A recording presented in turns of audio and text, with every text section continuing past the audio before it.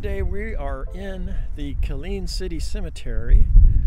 This is the oldest cemetery here in Killeen area. Um, we should find some interesting things out here. There's some interesting history and headstones, so uh, stay tuned. We'll see what we can find. It's a beautiful day for a walk in the cemetery, so hang on in there. Today we're over at the Killeen Cemetery, and there's approximately 10,000 graves out here. Fortunately, I have a map today, so this one's pretty well marked, so I should be able to find anything I need out here.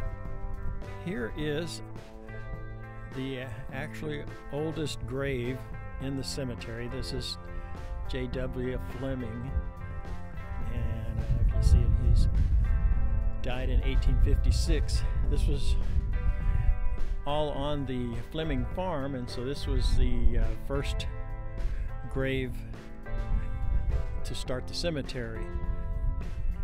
After that, uh, they started opening it up for other settlers in the area. The thing also about this cemetery is in 1942 when Fort Hood came, came in, uh, they took up all the land around out here, so they disinterred 15 cemeteries out into the country and reinterred them here in this cemetery. So it also has 15 other cemeteries reinterred here. So let's uh, keep on looking for other graves. Hmm. Here's a uh,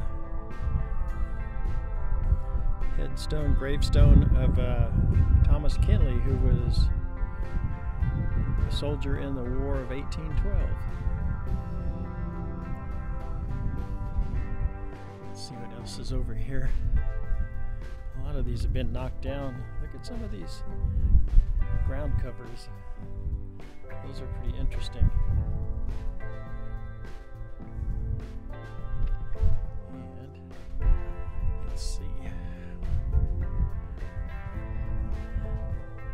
So many headstones out here with interesting markers uh, on it that uh, markings on it that I don't have time to look at all of them but if I see if there's any interesting ones I'll show them to you.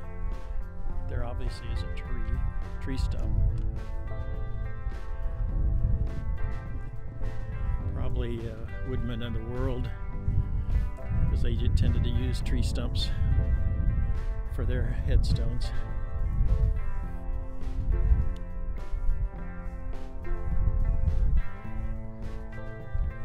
doesn't say it is, but uh, so it's probably just a tree stump, stump showing uh, that he obviously was cut down in prime of life. He was only about 20 years old, I guess, 25 years old.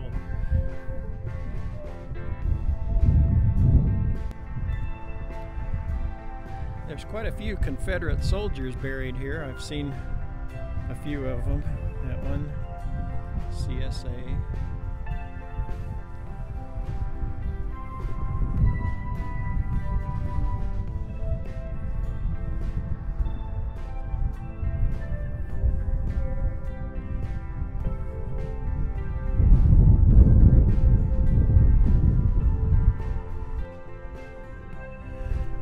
Here's an interesting headstone right here. John and Jane Riggs. It says they were murdered by Comanche Indians on March 1859.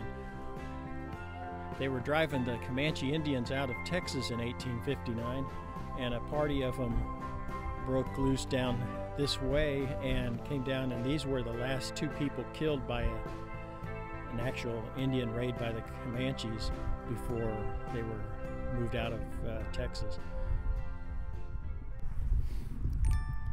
I'm in a baby section here, and a lot of these are just marked with little plates showing birth dates and date of death. Most of them are like uh, same day of birth and death, but uh, I'm looking for one out here, so if I find it, I'll let you know.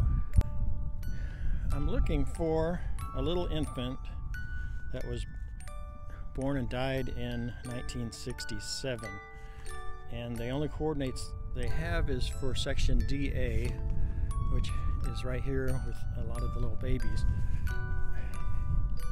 Unfortunately, um, can't seem to find it. As you can see, a lot of these are little plaques put on little bricks. And uh, these are all in the 65s. They're all pretty much done in order here for the little babies.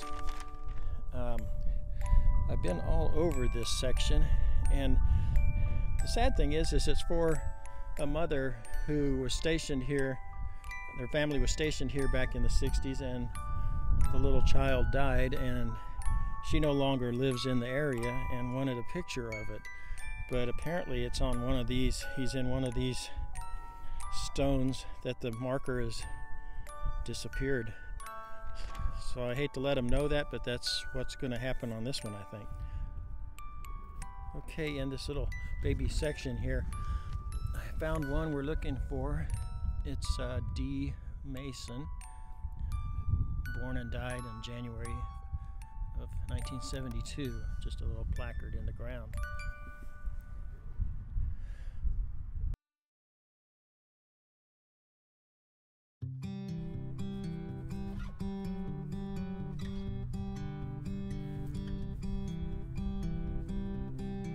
Parked over there and I've walked around for a while, but here's one we're looking for Clement Paul Nadeau, or Nadeau, born in 1932 and died in 2021. So, another one, another success.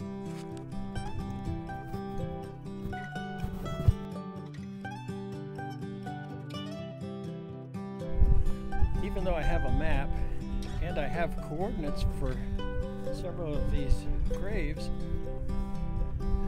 when you get to the location, there is no headstone. So they're either buried without one or maybe they're not here. Maybe they're at another cemetery. I'm going to keep looking. Found some few so far. Found another grave over here. They're looking for a willow griffin. And this is it right here. Born in 1941. She died in 2019, but they still have not got the date carved in there. So I think that's probably what the family wanted to see this for. I'll advise them and they can go accordingly.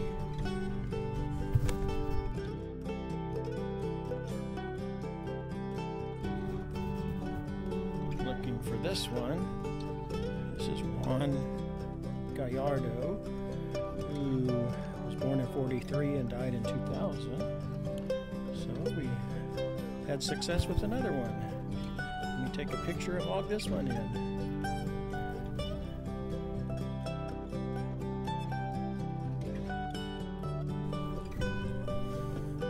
I'm looking for a Pauline Short, uh, Schultz, and this is a Schultz grave here, which looks to be the location given on the map. However, that's the wrong Schultz, so somebody must have logged in the wrong plot number. So they'll have to get better uh, information on that before we can find that one. So let's continue on.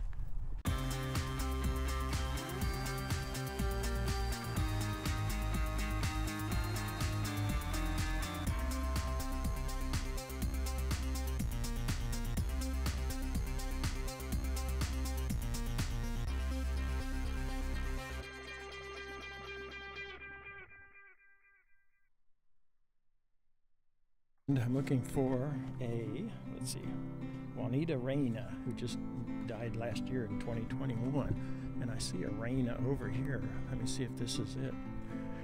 I saw this one from the road. Yep, that looks like it. Let's see. Juanita Reyna, born in 1925 and died in 2021. Okay, we've had success with another one. Let's see, where's it at? Back here towards the back.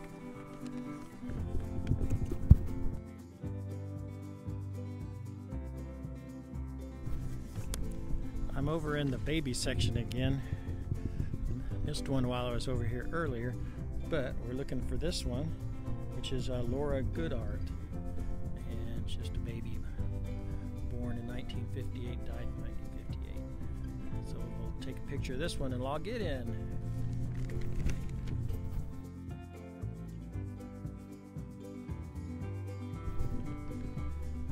And here's another one we found. Alice Hossack. And that's born in 19, make sure I'm the right, looking right here, 1928 to 2017. Okay, another success. That's not too far away from where I just was.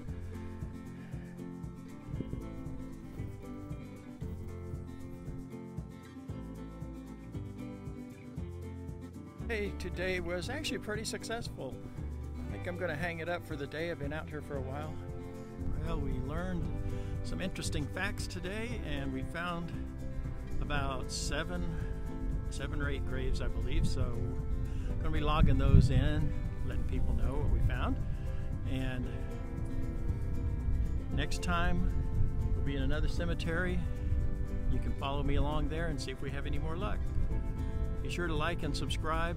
Any questions or comments, put them below in the section, and we'll see you on the road next time.